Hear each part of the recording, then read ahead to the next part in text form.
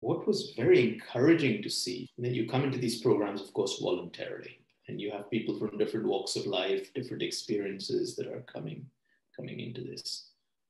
But I think one of the most refreshing things was, I think, the camaraderie in the team and the fact that everyone there was was there to learn, but to learn jointly, which I thought was really, really um, special. I think it gave this this tailored environment where you were learning not just by yourself, not just from others, but together over a certain period of time. I think that gave it a, a certain flavor.